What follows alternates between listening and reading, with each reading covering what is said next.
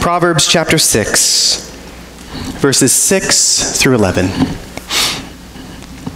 Go to the ant, O sluggard. Consider her ways and be wise. Without having any chief, officer, or ruler, she prepares her bread in summer and gathers her food in harvest. How long will you lie there, O sluggard? When will you arise from your sleep? A little sleep, a little slumber, a little folding of the hands to rest, and poverty will come upon you like a robber, and want like an armed man. The word of the Lord. Or perhaps you're familiar with the, uh, the great Disney movie animated picture called WALL-E. If you've seen it, WALL-E is a uh, sort of a futuristic, sort of cute story about a, a curious robot whose job it is to clean up Earth that has been trashed.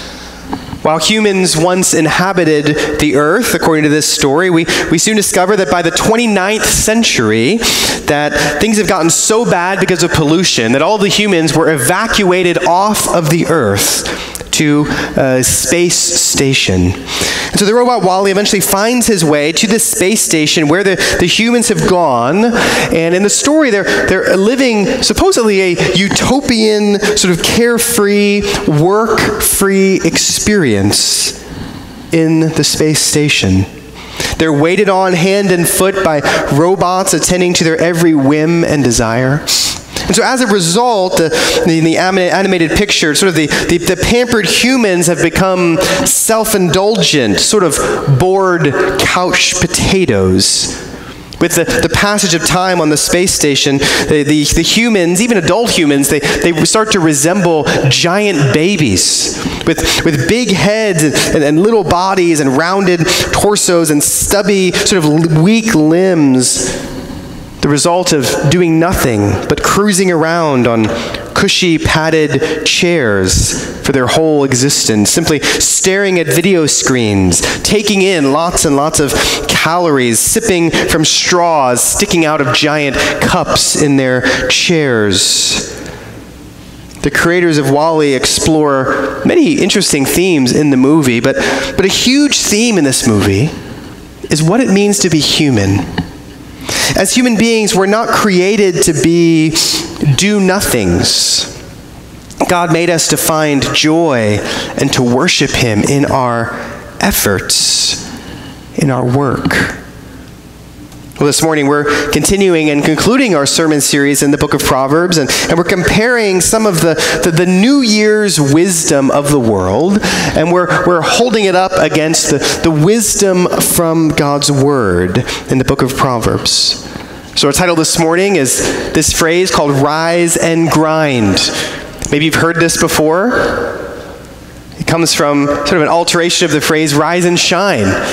The meaning is, is get up and work Get going. The, the earlier you can work, the better. The more productive you can be, the better.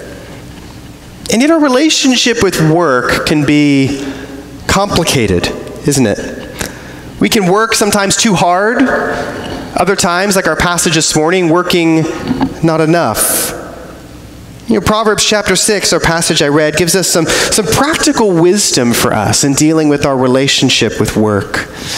This chapter provides wisdom on, on, on various topics. If you, you, kind of read all of chapter 6, there's, there's various topics that are addressed.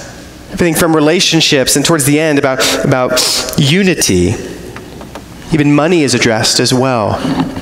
But in each of them, in the topics here in chapter 6, the, the theme is, is that they are negative examples. Negative examples that point us to positive wisdom negative examples that teach us the positive wisdom from the Lord. And so the main idea of at least verses 6 through 11, these six verses here in Proverbs 6, is simply this that we were created to work diligently for the glory of God. That you were created to work diligently for the glory of God. And I want to start this morning actually at the end of the passage and then come back to the, the beginning of the passage. So I first want us to consider the warning of this passage. We said there's sort of a negative example that leads to sort of positive wisdom. But the warning is simply this don't be a sluggard. Don't be a sluggard. We see that there in verse 6, it, it says, Oh, sluggard. It's addressing someone as a sluggard. And then verse 9, How long would you lie there, oh, sluggard? Perhaps you've heard of the, the seven deadly sins. You know, they're not exactly biblical. Uh, they really draw from, from church tradition. Uh, but you have pride and envy and gluttony and lust and anger and greed. But the last of these seven deadly sins, traditionally, is something called sloth or laziness. Now, out of all of those differences, I mean, you know, I was talking about gluttony and envy and lust, pride, anger, greed. You might think, well, sloth, laziness, doesn't seem so bad, doesn't seem that deadly for a deadly sin. And perhaps you imagine, well, look, we're, we're here in Boston, right? And, and Bostonians are probably some of the most hyperactive, hyperproductive people on the planet. We, we, we literally run on Dunkin', isn't that what it says? Or Starbucks, Americans generally are known for working longer hours, taking fewer vacations than most of the rest of the world. And so sloth seems to be the least sort of deadly sin, maybe the least relevant of these to us. And yet the truth is, if we're honest, we read this passage, verses 6 through 11. We all have some sluggard in us. We all procrastinate sometimes. We all daydream. We sometimes run late to appointments or even miss them entirely. I know some of us perhaps fritter away even whole evenings or hours on TV or scrolling and swiping Facebook or YouTube, Instagram, whatever social media addiction you might have at the moment. If we're honest, there, there are a lot of things that we plan to do, that we want to do, that we know we should do, but we don't follow through on. We often end up neglecting even the Lord, other people, relationships, because of our sloth, our laziness, or our distraction. And so our passage, as I said, addresses the sluggard. It's a warning against being a sluggard. Guess we should define that. What, what is a sluggard? A sluggard, as my mother in law used to say, it's like uh, molasses in January. It's being slow and hesitant when instead we should be decisive and active and forthright. Scripture actually talks a lot about this idea of being a sluggard. The book of Proverbs, it's a common theme. There's many proverbs that are addressed to sluggards, those who are lazy. Proverbs 26 says, as, as a door turns on its hinges, so does a sluggard on his bed. He's lazy, passive, constantly making the, the soft choice, losing one opportunity after another, after another, day by day, moment by moment. And we can all see and admit that there are elements of sluggardness in each of us. As I said, the sluggard appears throughout the book of Proverbs. We see here first in our passage that the sluggard does not take action and then justifies his inactivity. Look with me at verses 9 and 10. Verse 9 says, How long will you lie there, O sluggard? When will you arise from your sleep? There's the inactivity, the inaction. And then the justification in verse 10 a little sleep, a little slumber, a little folding of the hands to rest. You see that question in verse 9 How long will you lie there? When will you arise? There is no answer. There's no plan. There's no intentionality. There's no motivation. Only excuses. I just need a little more sleep.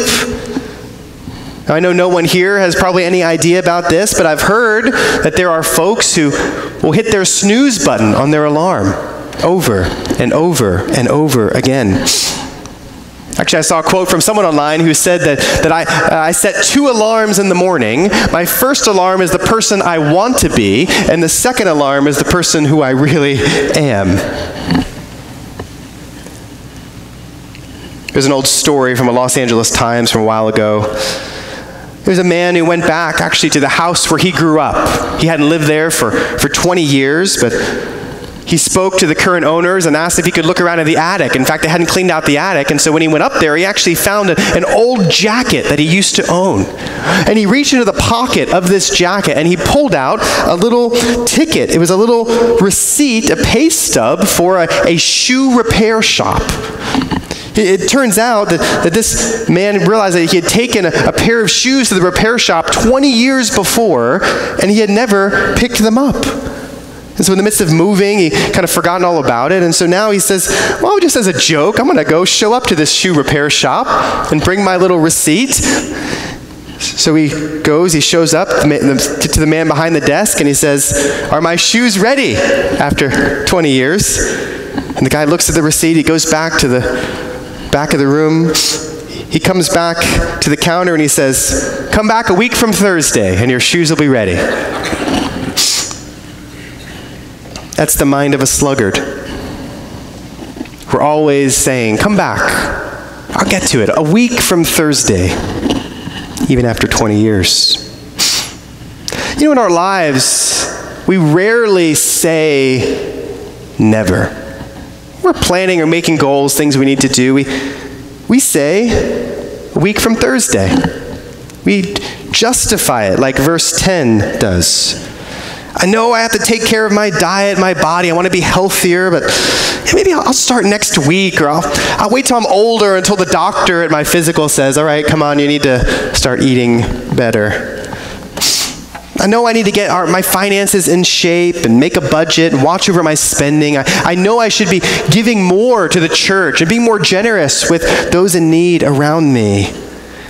But I'll, I'll do that next year. I just need to wait till I can get this job or get this next job or get the, the pay raise a little bit more. Then I'll get my finances in better order. I know I shouldn't just attend church. I should join as, as a member or at least serve more in the church or get involved in a group. But, but maybe next semester, probably next semester, we'll calm down. We'll be a little less busy. Next semester is never less busy, at least from my experience. Maybe you're a husband here this morning. I know I really should be initiating devotions with my wife. I know I, I wanted to do that. We should be praying together and doing this. And, but you know, maybe, maybe when we're older and things calm down, we, I, will get to the place where we'll do that.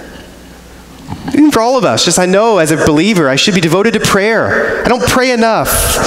But maybe, uh, maybe I don't know, things will slow down eventually, and I'll, I'll make more time for that. Let me just get through this season.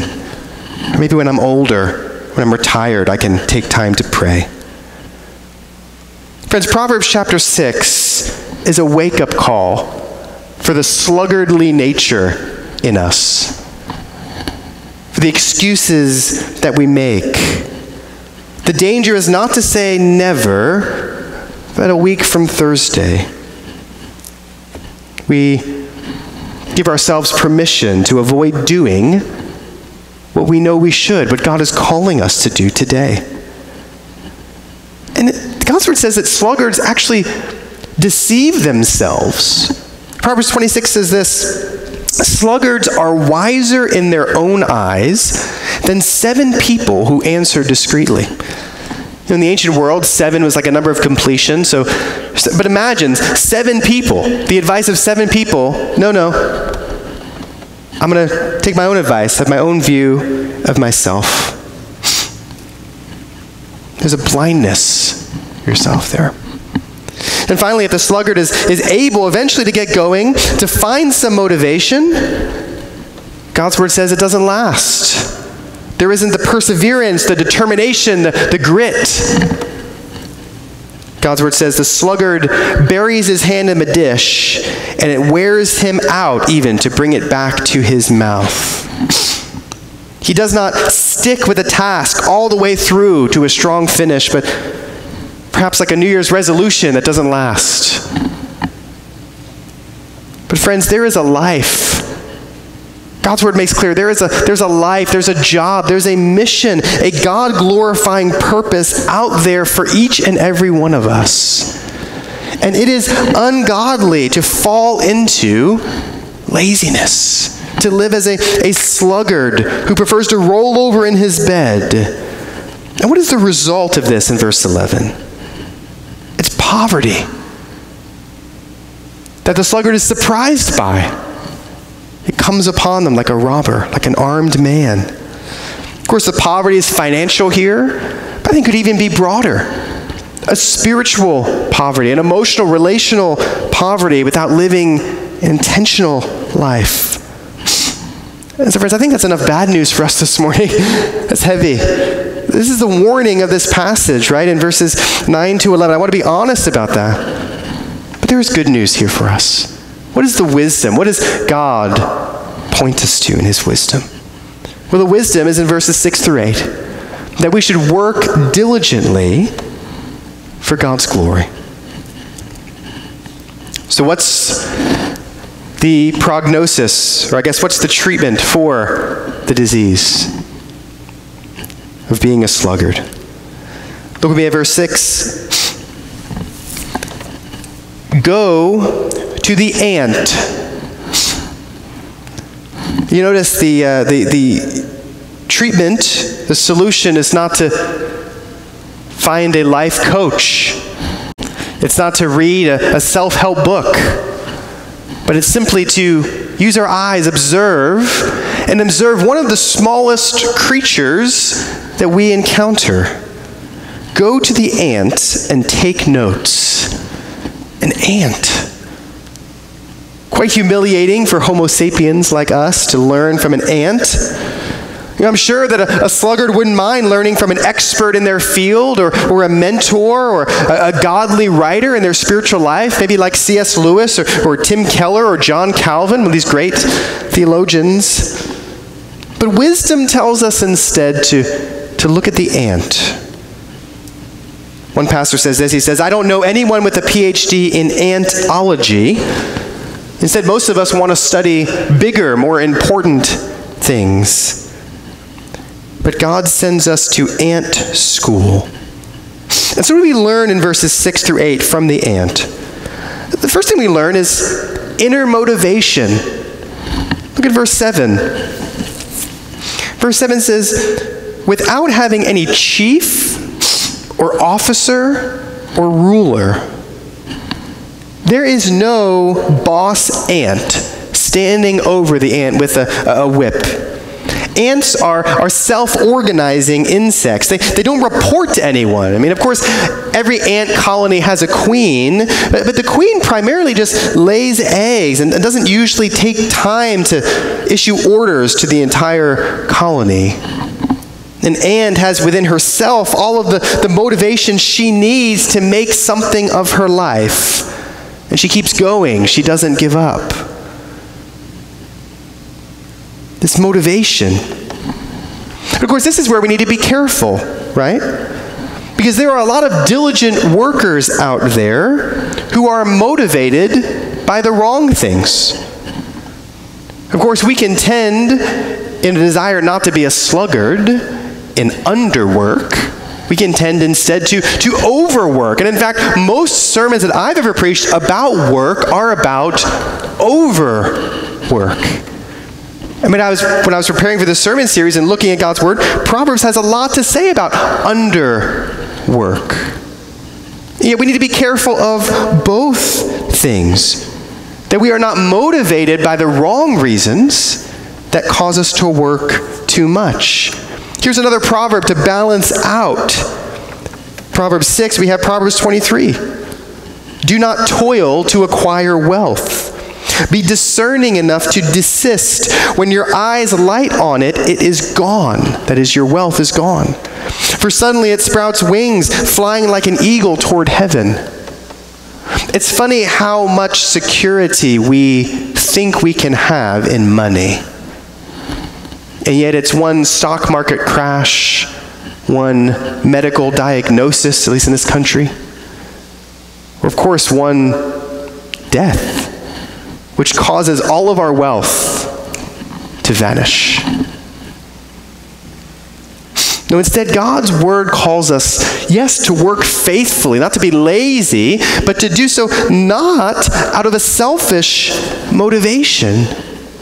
Not out of a selfish motivation. How do you know if you're, if you're working out of a selfish motivation?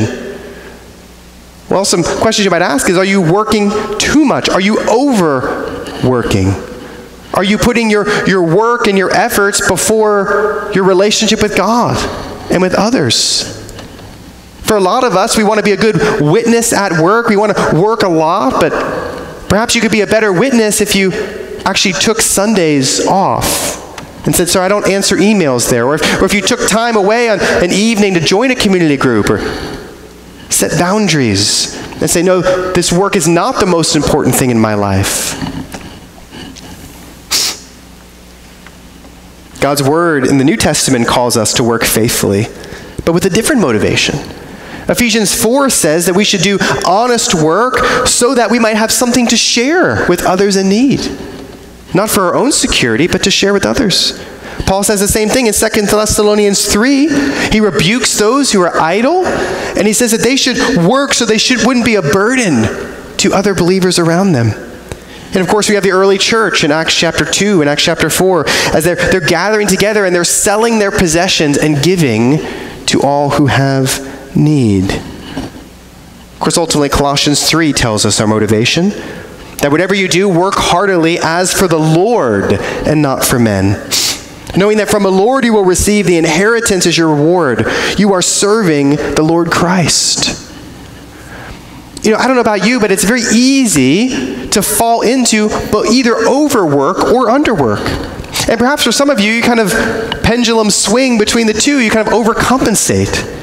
Friends, how can we avoid not overworking, putting our identity in our work, while at the same time not being lazy, not simply living for ourselves and our own ambition? I think the only solution is Christ. In, in the gospel, the fact that, that God has sent his one and only Son to die for sinners like us, that we know that we don't have to work and earn his approval but that we can rest in it. Know that, that God loves us no matter what we do, no matter how much we accomplish, no matter how many degrees or, or GPA or money in our checking account or, or papers published. We are smiled upon and called approved because of the forgiveness that Jesus offers. And yet at the same time, Jesus doesn't just beam us right up to heaven immediately. We are left here on the earth not to wander aimlessly waiting for heaven, but to be used by God. We have much work to do, but not motivated to prove our existence, but in response to God's work in us and His desire to use us and work through us. Friends, that is where the motivation lies. And so, friends, we can be like the ant motivated not by a boss, not by our own ambition, but ultimately by serving and glorifying the Lord Jesus. Not from others' praise, but from the inside, as the Lord has already assured us of his praise. But second, there's not only the motivation here, but what we see the ant not only is motivated without having a chief or officer or ruler kind of, you know, whipping them, you see here in verses uh, uh, 8 and 9, or verse 8, pardon me, there is persevering, diligent work. The ant works hard. Verse 8 says, She prepares her bread in summer. Under the hot sun, she scurries about getting the job done.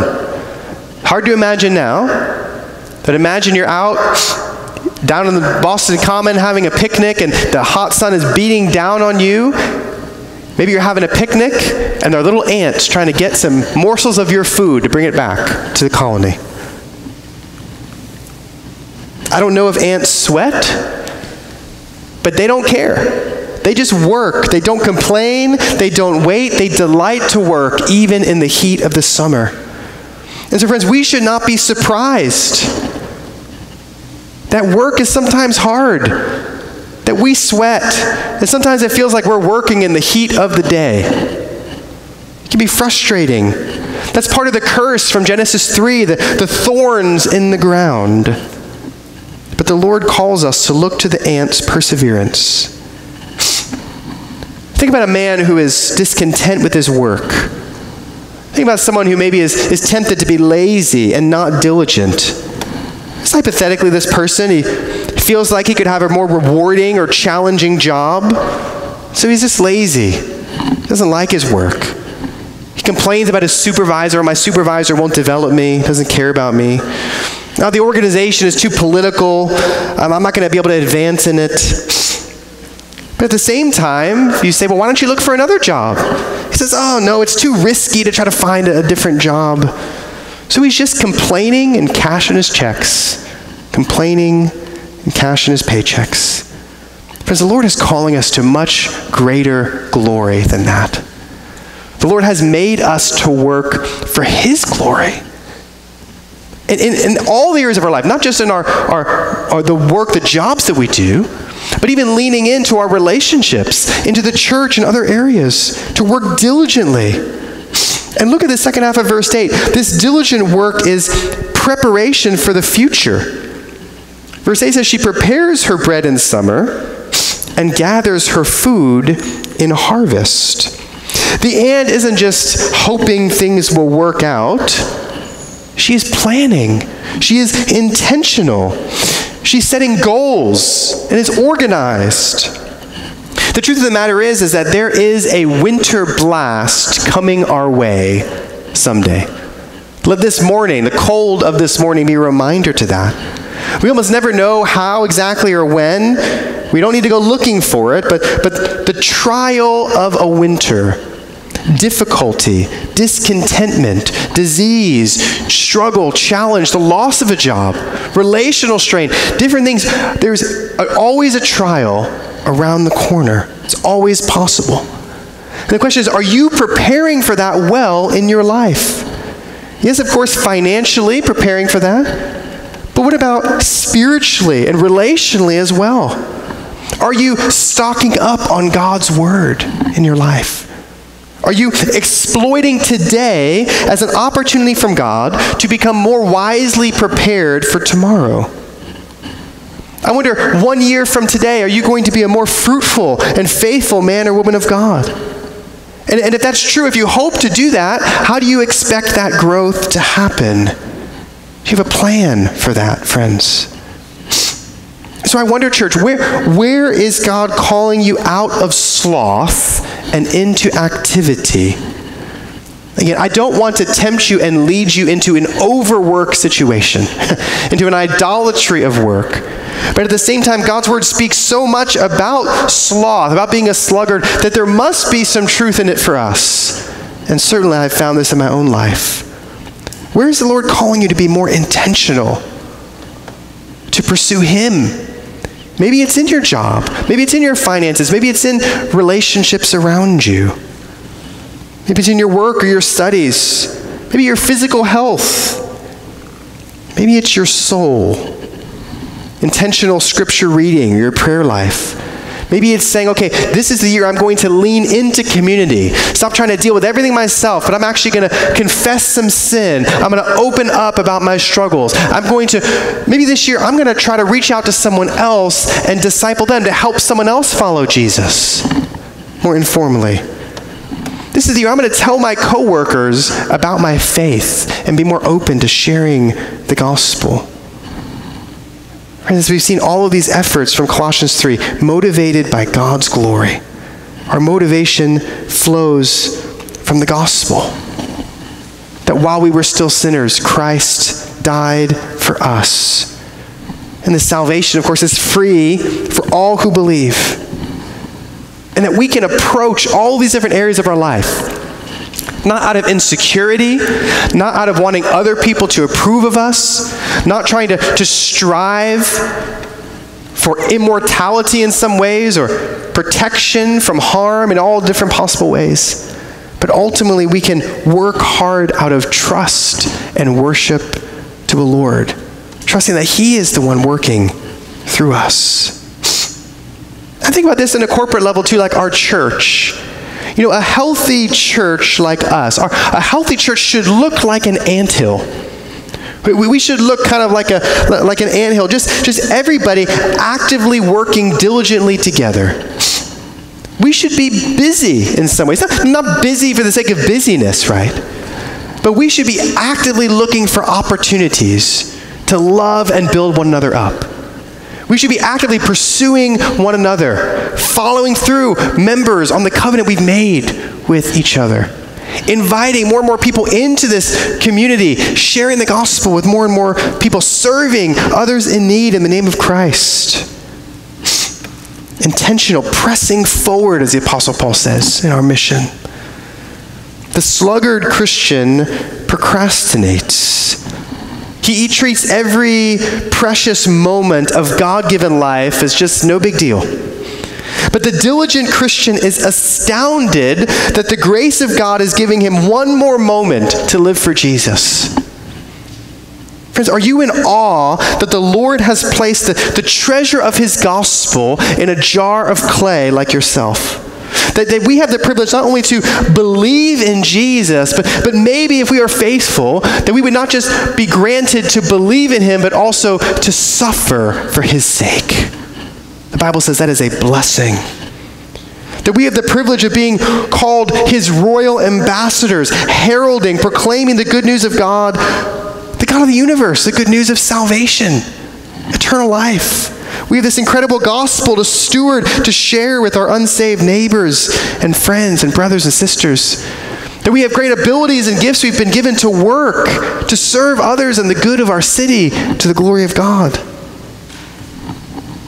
Are you in awe by that? Are you motivated by that, friends? You know, one way recently that I've been inspired personally is by reading Christian biographies. Particularly, I've been reading uh, just some short biographies of, of, famous missionaries throughout church history. And I've read recently about uh, Adoniram Judson, the great missionary to Burma. Yeah, Corrie ten Boom, who was just a faithful witness for Christ during World War II, just protecting, harboring Jews. And then while she was locked up, suffering in a concentration camp, leading worship services and Bible studies and hymn sings there. And most recently, I've been reading about uh, uh, Amy Carmichael, Elisabeth Elliot's biography of Amy Carmichael. She was from Ireland, moved there on her own, gave her life to evangelism and mission. She, she first went to Japan and spent a few years there, and then, and then finally spent the rest of her life, 55 years, in India. But you know, even these missionaries, and reading about them, they, they face discouragement and even temptation towards sloth. On the mission field, there was a temptation to be a sluggard, even as a missionary in a far off land from where she was from. Amy Carmichael, she arrived in India in the late 1800s, uh, but she was surprised when she got there that many of the other Western missionaries who'd been there a long time, that they seemed to be distracted by their own comforts and culture and less focused actually on the reason why they would be there. They were focused on getting away from the heat and having a comfortable living space and all of these things instead of sharing the gospel with people who were in need. In fact, they were often cynical and discouraged because there wasn't a lot of people responding. There was so much syncretism and, and mixing between Hinduism and Christianity. It was a very confusing time. So Amy Carmichael, she was discouraged by this. But, but listen to what she says. She writes back to her supporters in Ireland. She says, Oh, to be delivered from half hearted missionaries. She says, Don't come if you mean to turn aside for anything. She was a firecracker, right? Don't come if you mean to turn aside for anything. For the claims of society in the treaty ports and stations. Don't come if you haven't made up your mind to live for one thing the winning of souls. And she, the best that she could, not perfectly, but she did live this out.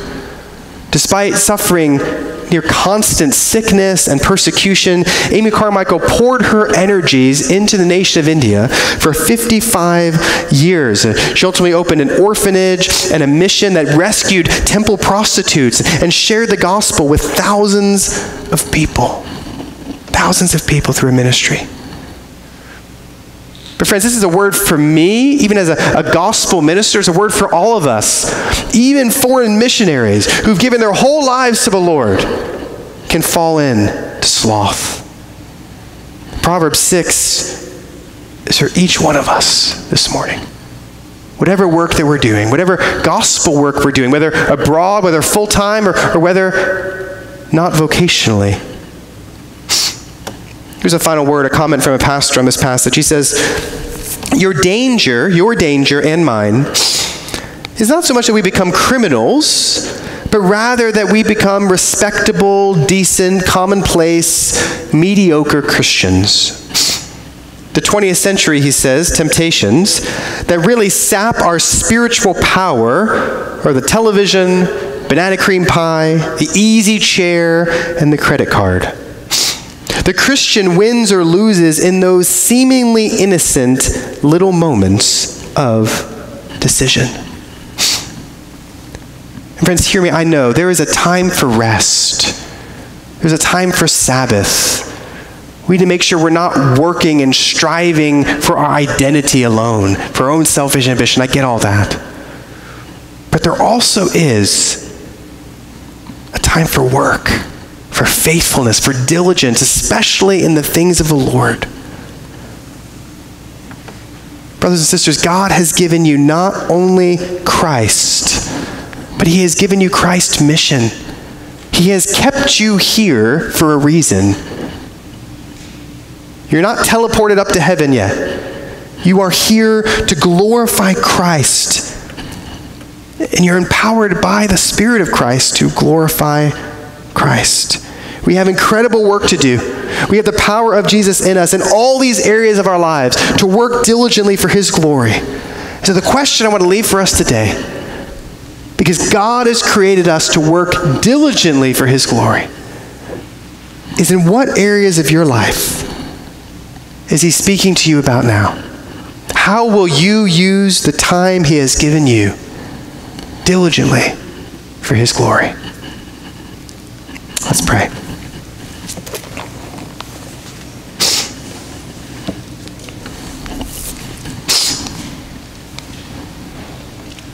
Father, make us faithful. May we heed the warning to the sluggard. Would you help us not simply in this message, this passage, to beat ourselves up, to fall further and further and it's kind of spinning into just a depression and thinking selfishly too much of ourselves, too low of ourselves. But Lord, help us to see that you have empowered us by your Spirit to work. That we have the same power that raised Christ from the dead living in us, all who believe. And that power enables us, empowers us to work diligently for you. would you give us wisdom and discernment? Not to overwork, but to work faithfully. Not to work motivated by selfish ambition or insecurity, but out of worship and thankfulness to you. And would you use us, Lord?